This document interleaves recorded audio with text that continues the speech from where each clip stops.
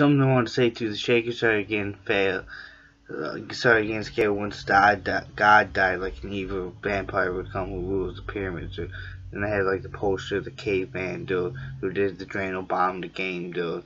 That was like a long time ago. And like Rachel Taylor Swift, man, like getting all scared and like her writing scared the Shakers, man. She's a big important thing in the Shakers. Was like wicked dark Joe Shakespeare may end doing like what is heaven do and there's no heaven for them, it was just like wicked dark.